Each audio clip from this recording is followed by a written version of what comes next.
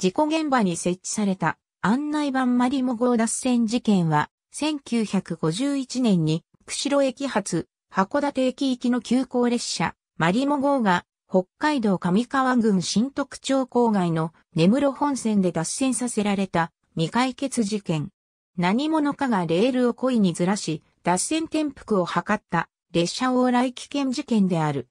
専門的な知識、技術が要求される犯行であり、約600人の日本国有鉄道及び労働組合関係者が捜査対象となったが、迷宮入りした。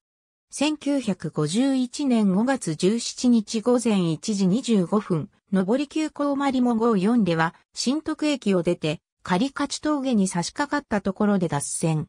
蒸気機関車が線路外に逸脱して、宙吊り状態になったものの、上り坂で速度が出ていなかったこともあり、乗客約470名に怪我はなく、機関士2名が軽傷を負うだけの被害で収まった。仮に、勾配を下る列車であったならば、速度も増し、より多くの犠牲者が出る大事故につながったものと考えられている。原因は、レールの継ぎメーターを外し、レールを4センチメートルずらすというものであり、1949年に発生した松川事件の状況と類似していた。また、新徳が大規模な労働争議が行われていた場所であったことから、警察は捜査対象者を国鉄関係者、とりわけ労働組合関係者を重点的に600名とも言われるほどの規模で事情聴取を行った。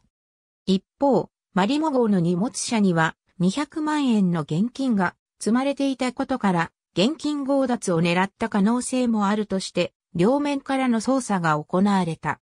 しかし、有力な物的証拠や目撃証言等は得られず、捜査は難航。事件解決の名を借りた組合叩きとの批判も噴出する中、詳細は解明されないまま未解決事件となった。